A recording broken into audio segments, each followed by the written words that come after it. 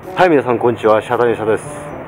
先に言っておきますが今回の動画は皆様に全くお勧めできない動画ですんではいこそこのとこご了承くださいませ。はいこのハウス約1000本植わってますが500本の管理がはいきゅうりの管理ですね。遅れております。はい。見てください。ここにあるものは立ってますよねきゅうりが。こちら横になってますよね。正直ですねもう親のつるなのか子のつるなのか上からだと判断できないぐらい。例えばこれですね親づるはどれだろうこれかな？と思うとこれはもう子づるです。はいつるが伸び放題。はい。本来であればもうこのようにつるを上げていなきゃいけまいけません。そして下から6節6節目までの脇芽は取ってなければいけないんですけど全て終わっておりませんはいなのでですね、今からその状況を見ていただくとともにですね、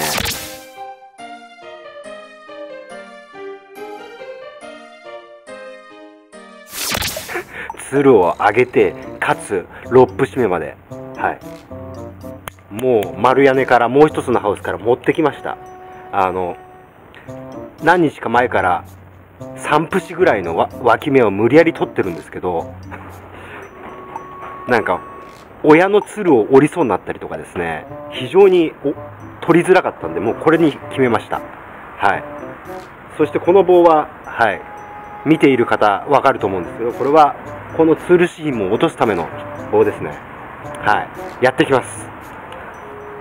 行ってこうはい、この青竹のこのススナップ力で、これを、こうですね。はい。こう、こう、はいそして見てください。これですね。毎回お決まりですね。つるがはい紐に絡んでますね。これもこのスナップ力できゅうりに気づけないように見てください。いきますよ。どうでしょ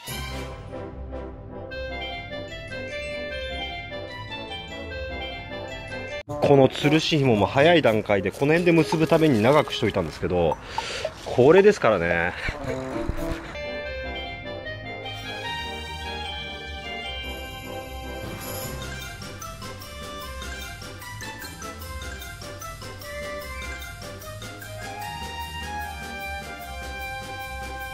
はい、8本上げましたけど、もうこの辺でいいでしょうか。見てください。1、2、3節目が、1節、2節、3節、4節、5節になってますね。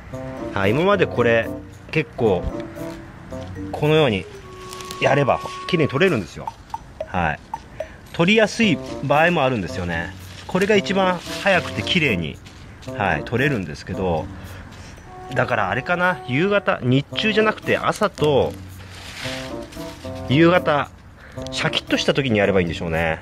はい。なるほど。これで、1、2、3、4、5、6、6まで、はい、取れましたね。この状態、はい、に仕上げていきます。はい、どうだったでしょうか。こんな強敵心をしてしまったら、キュウリは相当のショックです。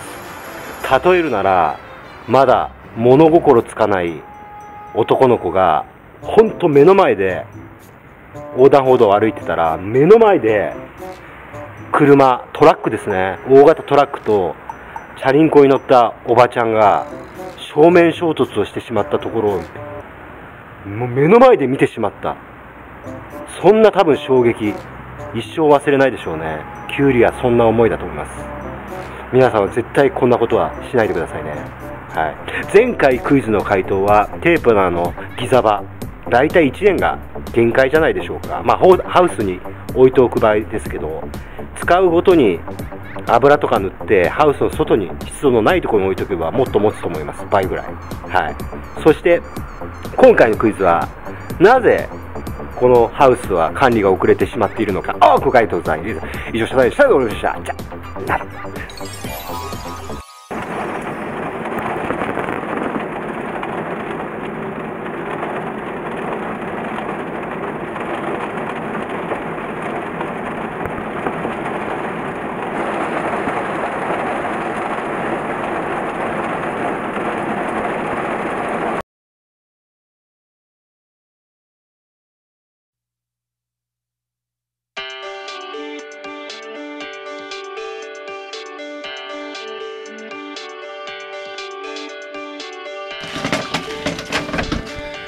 空調風神服忘れました。急ぎます。これかな？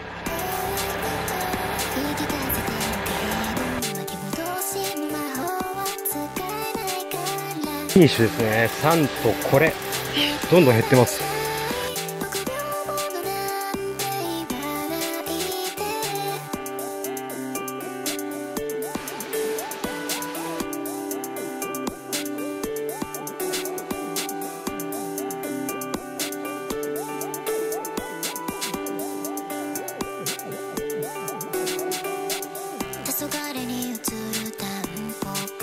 7本ピンチして節節数は15で6まで取っちゃうんで。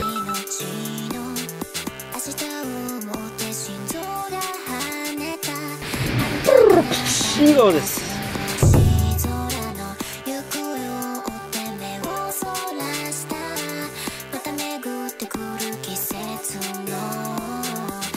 いや今日も抑制した感満載ですね。ってことで12時から朝取りの勉強会ですので着替えて向かいます。サフオイル注文しときました。そしてテープのあのギザバも取り寄せるように言っときました。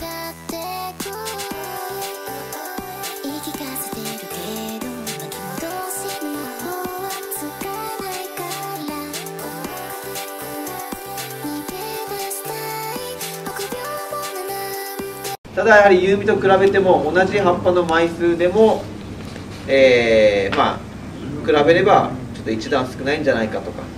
えー、全体的な、えー、お話というところになりますと、えー、冒頭、えー、先ほども、えー、有馬さんからありましたけれども中村会長、えー、最近はまじまじと感じる次第でございます。皆さんどうもこんにちは。久留米種苗園芸の綾部と申しますえー、大変あの皆様にはですね、えー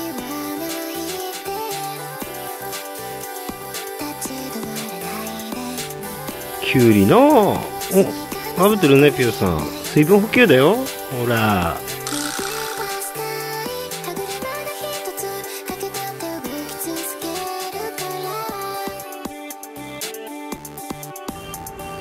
どうでしょうか。はいまあちょっとつる折折れちゃいました。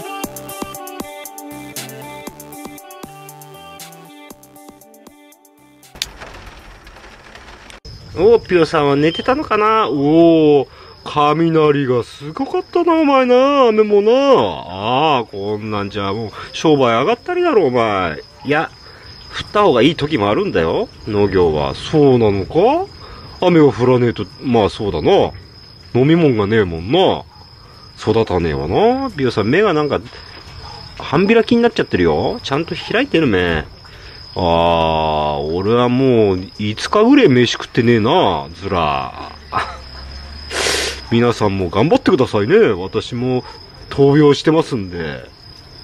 最初は、俺、俺、またな。